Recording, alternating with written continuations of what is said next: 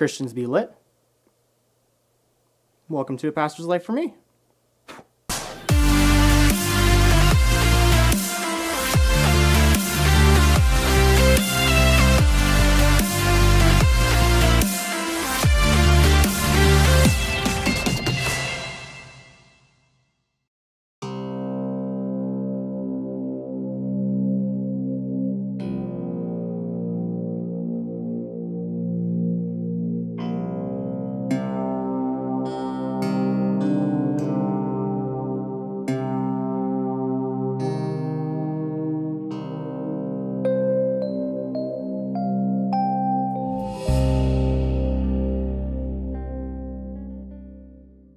Last part on our series, we talked about what it meant to be the salt of the earth.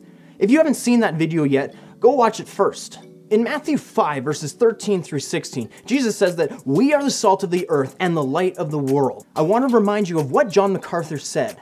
This passage says that we are the salt and light of the world. Not we're supposed to be, or we should be, or here's how to be. It says that we are. The question is whether or not we are effective as salt and light. So, what does it mean for us to be light? I think that we probably know what light is and what it does. But a very basic definition is that light pushes away darkness. It illuminates. We say, turn on the light or turn off the light. When you think about it, it really doesn't make much sense to say, turn off the darkness, turn on the darkness. Shadows are a good example of this. If I take a light and point it behind me, it'll put my shadow in front of me. I block the light and create an area of darkness. But at no point will I ever move the darkness to move the light. I don't take the shadow and move the light. Does not work because darkness is the absence of light. Sin is everything that is contrary to God and His decrees. So it makes sense that if we are the light of the world, we do not follow the sins of the darkness,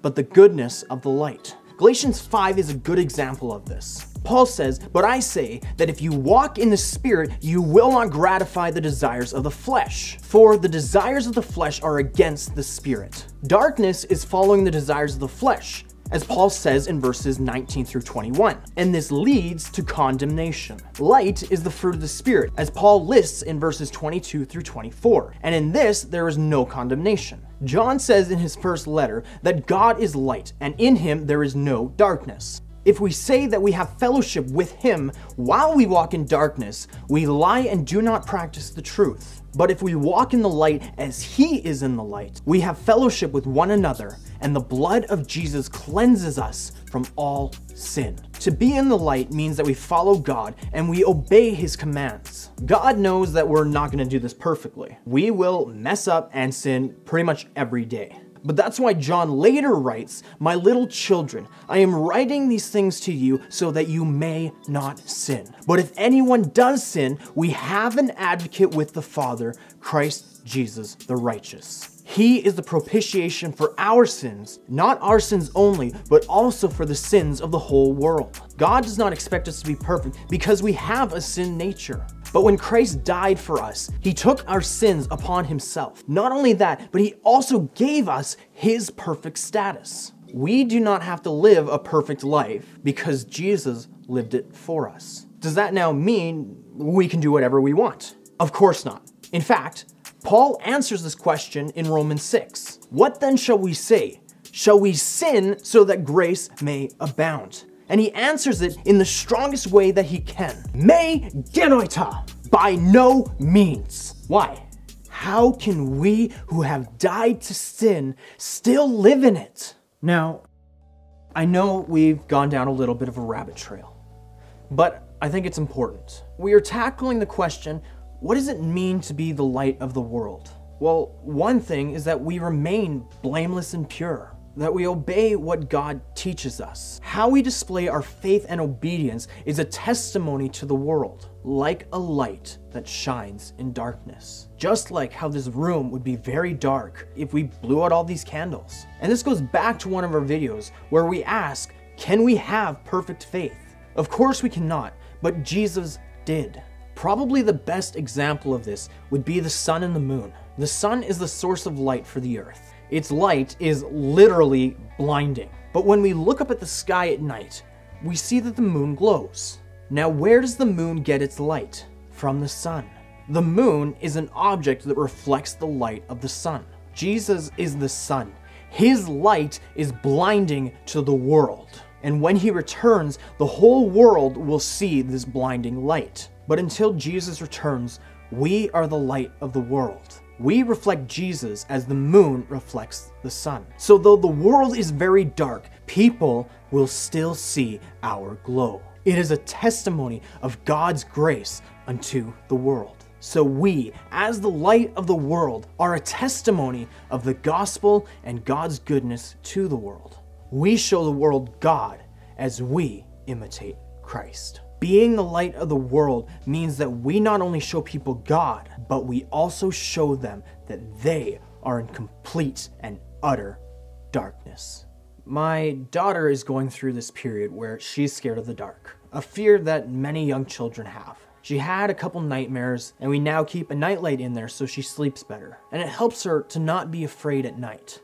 But when you think about it, being scared of the dark makes sense. Which would you rather? Being lost in the middle of a bright day where you can see your way and possibly find home, or being lost in the dark where you roam around tripping over things, running into things, and having no idea what dangers surround you?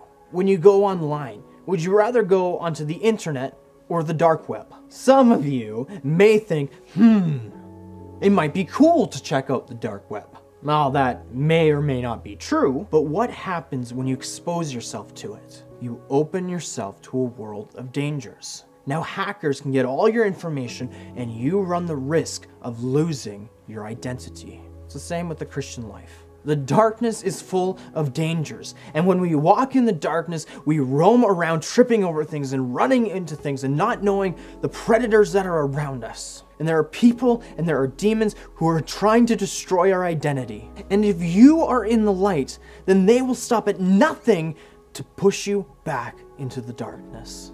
Do you want to know what's the worst position for you to be in?